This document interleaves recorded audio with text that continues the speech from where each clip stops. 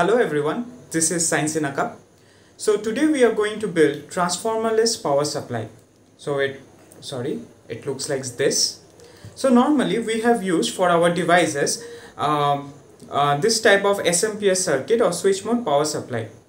So the problem with SMPS circuit is that it is expensive and it has a lot of components. So when there are a lot of components, the failure rate is also high.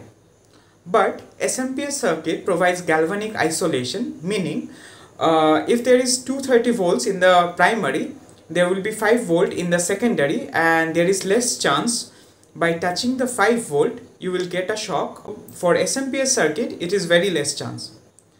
Problem is what I said earlier, SMPS circuit uh, is costly, has lot of components, has a uh, higher failure rate so many of the companies what they do is that they use uh, transformerless power supply or it is also called capacitive dropper circuit.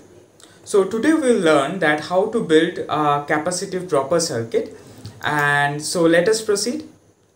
So in a capacitive dropper circuit uh, first it uh, enters through this. So this is my input terminal which gets uh, 230 volt 50 hertz and here is the input terminal. It's a AC power supply of 230 volts. From the input terminal it goes through this capacitor which is of 1 UF 400 volt polyester capacitor and it has a bleeder resistance of 1 mega ohm. Across the terminal there is also a 100 ohm 1 watt resistance. Now it will go to a bridge rectifier so let us draw the bridge rectifier. I have taken a 400 volt 1 UF capacitor which is polyester or aluminum foil capacitor. Electrolytic capacitor will actually burst. So you can see the accident in this clip. So the capacitor actually bursted and uh, let us see what happens. In the capacitor there is actually a bleeder resistance. If you can see this is a bleeder resistance if you do not give this bleeder resistance bleeder resistance actually what it does is that when uh, you switch off the power supply uh, all the charges which are stored in the capacitor is actually discharged through this resistance. Here I am using 1 mega ohm resistance.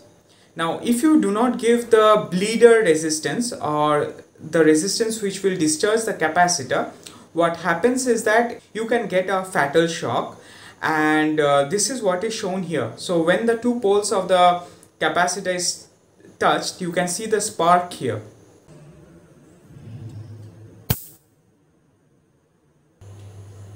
So here is my 4 bridge rectifier of 1N4007 from the bridge rectifier actually converts the AC voltage here to DC volt. So that is the purpose of the bridge rectifier so it is connected to the board and everything is soldered. It is necessary to clip all the leg using a wire cutter or a nail cutter or else uh, it might get bent and there might be a short circuit and an accident.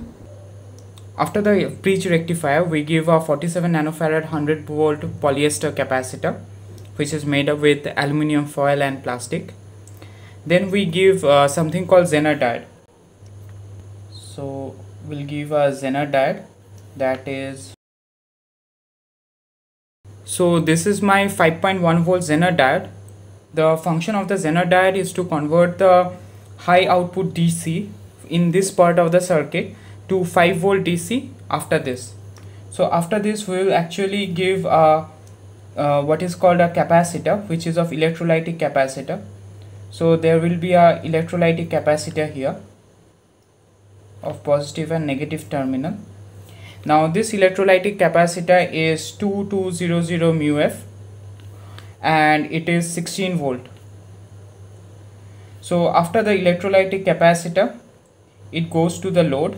So here is a 100 ohm resistance with an LED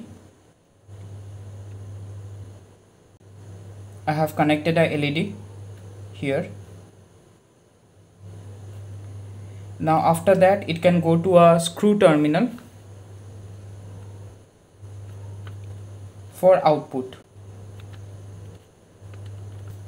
So this is actually the whole circuit. Multimeter you can see in the input terminal it is 230 volts AC after the bridge rectifier it is around 300 volt DC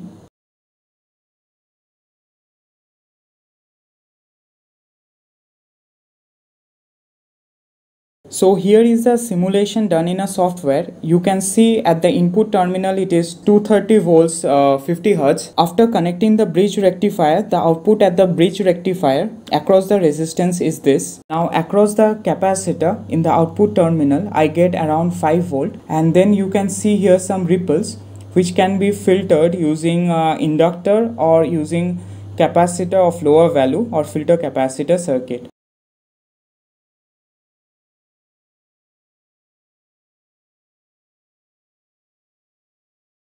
Question comes like how much capacitance I need? So see the capacitance here acts as a resistance or impedance. So this is the formula for that. So this is my required uh, voltage. Uh, that is I am considering 6 volt around 6 volt.